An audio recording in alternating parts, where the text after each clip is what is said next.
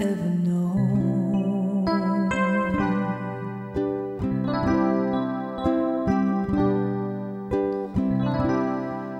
And I want to give you all my